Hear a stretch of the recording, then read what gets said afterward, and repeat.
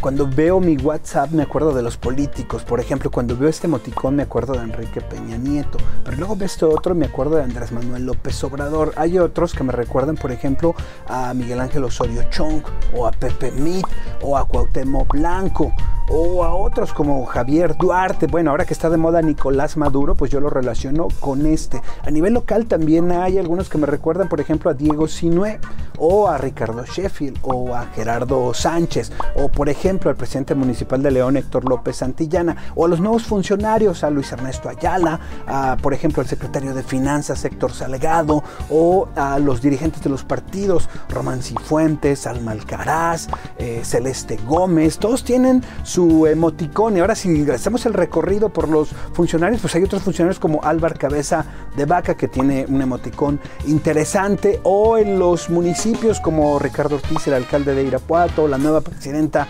municipal de Celaya. Bueno, ya al final, en resumen, después de ver a todos los políticos y funcionarios, no queda más que hacer un emoticón, es la cara que todos hacemos cuando los vemos, que es esta.